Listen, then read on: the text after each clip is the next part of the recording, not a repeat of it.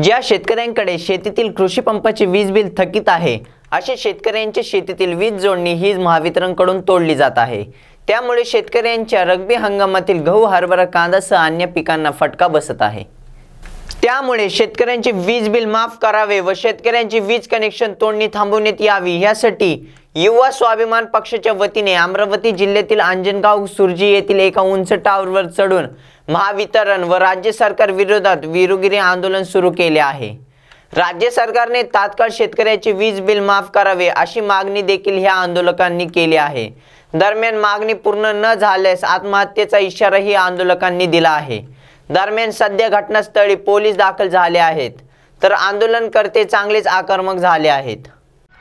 आज आम्ही अंजनगाव सुरजी येथील युवा स्वाभिमान पार्टीचे तीन पदाधिकारी माननीय अजिबू देशमुख विठ्ठल ढोले आणि मी मंगेश कोकाटे या मातंगपुरा येथील या टावर आम्ही चढलेलो आहोत. आज हे आमचं टावर आंदोलन या ठिकाणी चालू झालं.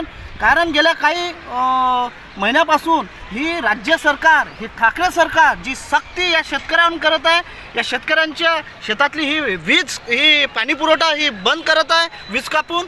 त्यामुळे या शेतकऱ्यांवर आज ही अतिशय ही मरण्याची अशी पाळी आलेली आहे. म्हणून आज आम्ही त्यांच्या हितार्थ या युवा स्वाभिमान पार्टीचे तथा या आमच्या युवा स्वाभिमान पार्टीचे लोकप्रिय आमदार संस्थापक अध्यक्ष माननीय आमदार वैभव राणा तथा या जिल्ह्याच्या खासदार मान्य सोनवनीताई राणा हे नेहमी शेतकऱ्यासाठी लढा देत राहतात म्हणून आम्ही त्यांना प्रेरित करू.